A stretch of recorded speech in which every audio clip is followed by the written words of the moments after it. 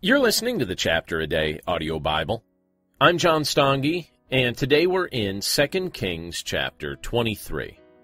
And we're reading from the English Standard Version. Then the king sent, and all the elders of Judah and Jerusalem were gathered to him.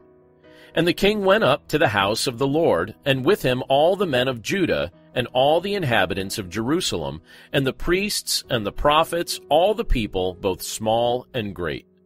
And he read in their hearing all the words of the book of the covenant that had been found in the house of the Lord.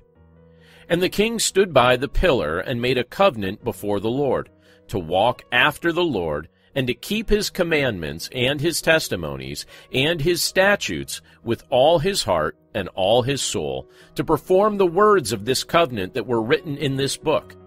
And all the people joined in the covenant.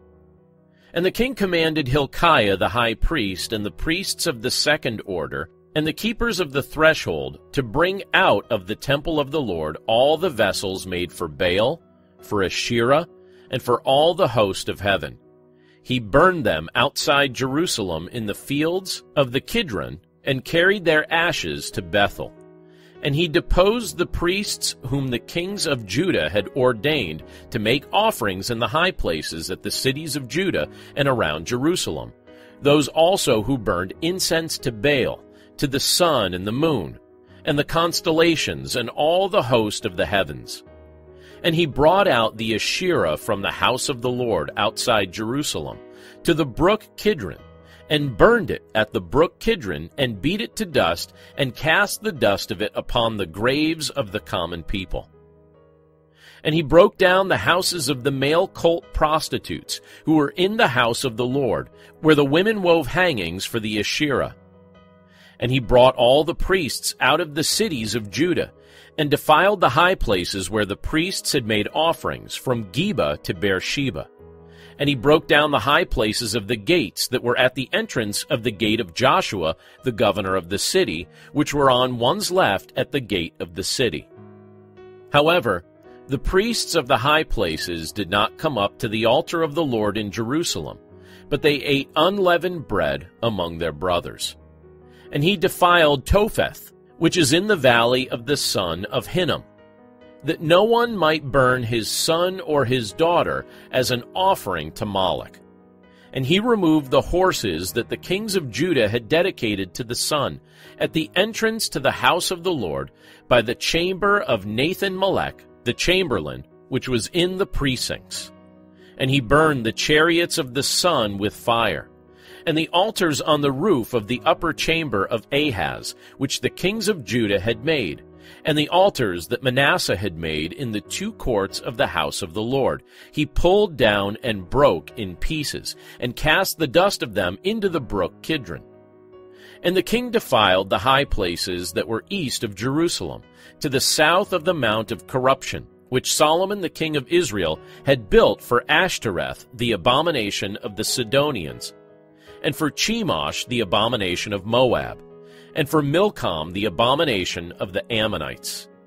And he broke in pieces the pillars, and cut down the Asherim, and filled their places with the bones of men. Moreover, the altar at Bethel, the high place erected by Jeroboam the son of Nebat, who made Israel to sin, that altar with the high place he pulled down and burned, reducing it to dust. He also burned the Asherah.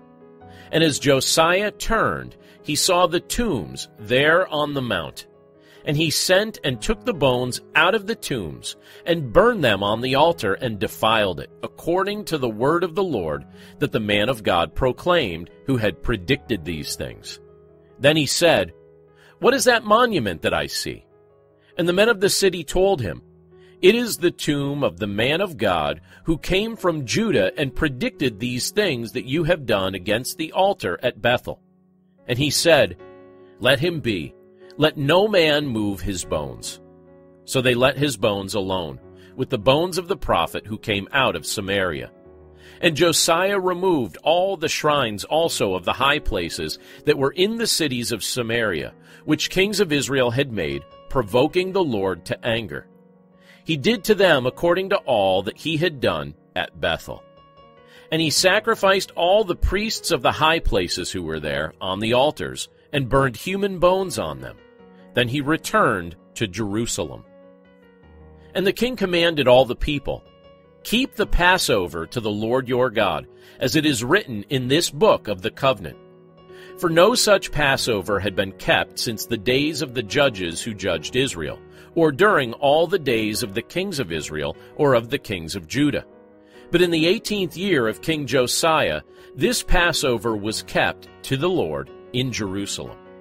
Moreover, Josiah put away the mediums and the necromancers and the household gods and the idols and all the abominations that were seen in the land of Judah and in Jerusalem, that he might establish the words of the law that were written in the book that Hilkiah the priest had found in the house of the Lord.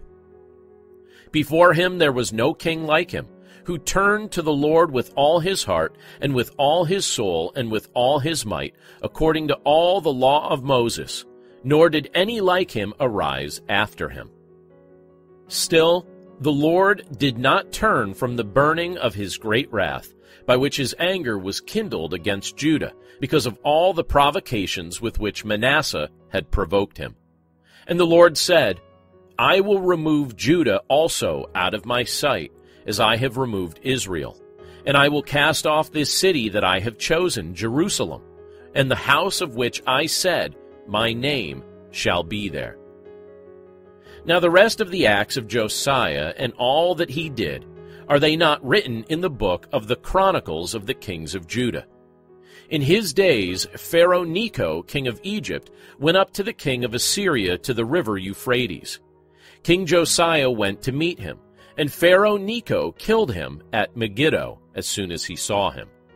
And his servants carried him dead in a chariot from Megiddo and brought him to Jerusalem and buried him in his own tomb. And the people of the land took Jehoahaz, the son of Josiah, and anointed him, and made him king in his father's place. Jehoahaz was twenty three years old when he began to reign, and he reigned three months in Jerusalem. His mother's name was Hamutal, the daughter of Jeremiah of Libnah. And he did what was evil in the sight of the Lord, according to all that his fathers had done. And Pharaoh Necho put him in bonds at Riblah in the land of Hamath, that he might not reign in Jerusalem, and laid on the land a tribute of a hundred talents of silver and a talent of gold. And Pharaoh Necho made Eliakim, the son of Josiah, king in the place of Josiah his father, and changed his name to Jehoiakim. But he took Jehoahaz away, and he came to Egypt and died there. And Jehoiakim gave the silver and the gold to Pharaoh, but he taxed the land to give the money according to the command of Pharaoh. He exacted the silver and the gold of the people of the land, from everyone according to his assessment, to give it to Pharaoh Necho.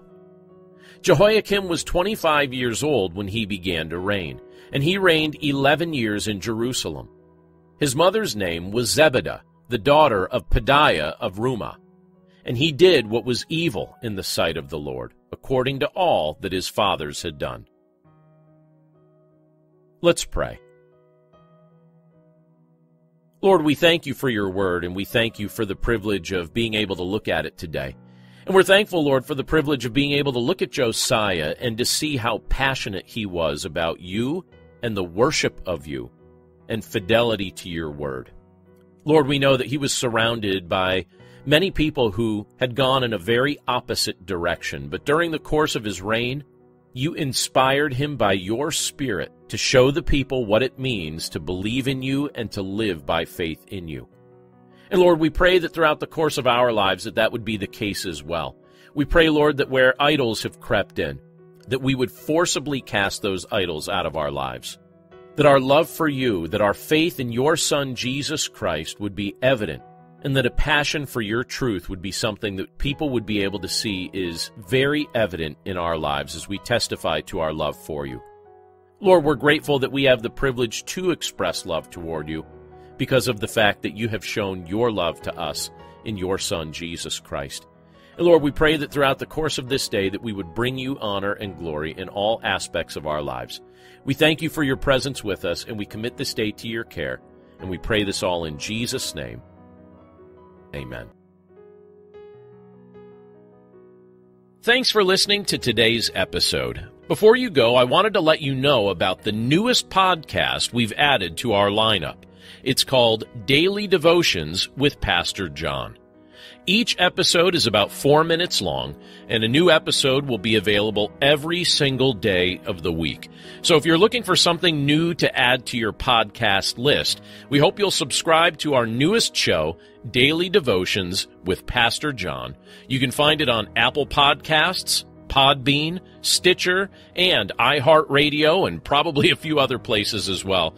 You can also check it out at our website, which is desirejesus.com. We want this to be another encouraging addition to your morning routine or your drive to work. So thanks again for listening, and have a great day. And when you get a chance, check out our newest podcast, Daily Devotions with Pastor John.